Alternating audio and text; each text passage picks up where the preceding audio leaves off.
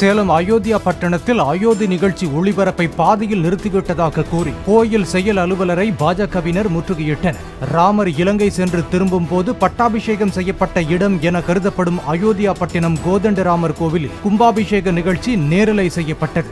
இதில் ராஜஸ்தான் மாநிலங்களவை உறுப்பினர் ஹர்நாத் சிங் யாதவ் மற்றும் பாஜக நிர்வாகிகள் உள்ளிட்டோர் நேரலை நிகழ்ச்சியை பார்த்து வந்தனர். அப்போது இந்து அறநிலையத்துறை செயல் அலுவலர் சங்கர் திடீர் என மின் இணைப்பை துண்டித்ததாக கூறி வாக்குவாதத்தில் ஈடுபட்டனர். கோயில் வளாகத்தில் நிகழ்ச்சியை ஒளிபரப்ப அனுமதி வழங்கவில்லை என செயல் அலுவலர் கூறியதை ஏற்க மறுத்து வாக்குவாதம் செய்த நிலையில் மீண்டும் மின் இணைப்பு வழங்கப்பட்டது.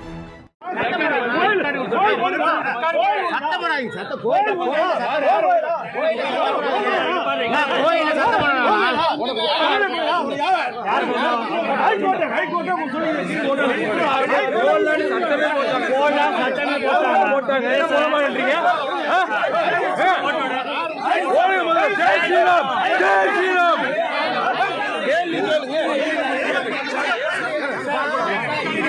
இந்த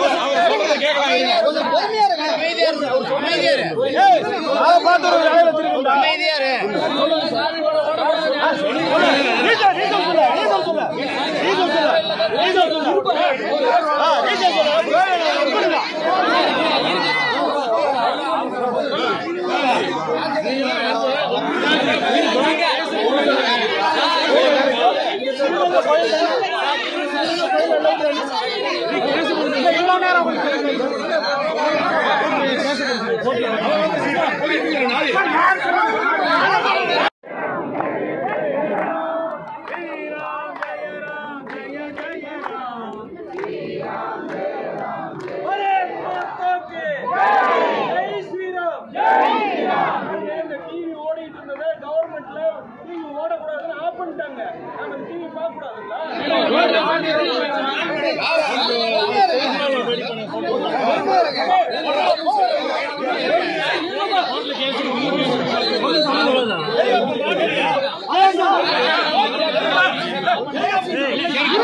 ஓடக்கூடாதுன்னு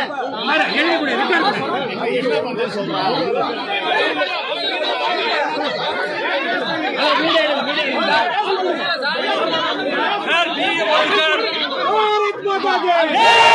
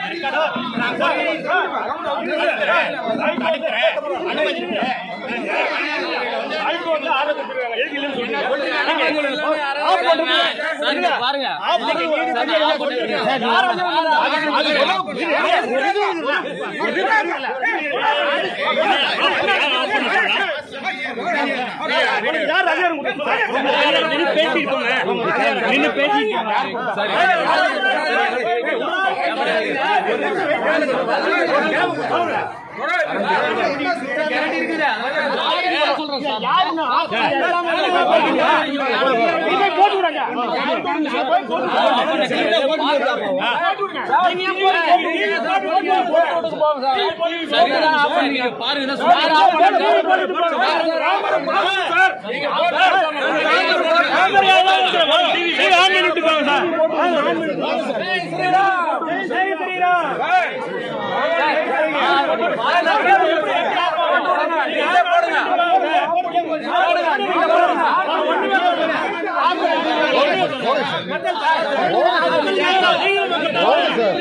சார்.